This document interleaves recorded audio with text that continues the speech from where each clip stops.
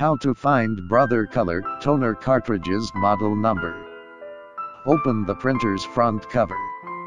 Check the label next to the warning label on the printer's fuser unit.